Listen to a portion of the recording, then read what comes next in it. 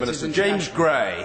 The Minister not agree with me that one of the best ways of preventing illegal hunting of endangered species overseas is by ever tougher controls on illegal imports of bushmeat into the, into the UK. What's he going to do to, to, to take that forward? We, we are very concerned about uh, bushmeat uh, and importation, and that is why we have protected uh, funding for uh, work uh, happening at ports and airports in this, and the expertise that we have on this. I also think there's a very good case that we've made in Britain. Much, we have much stronger on the uh, export or import of rhino horn, which, as we know, is, is putting the, that species at very severe risk of, of extinction.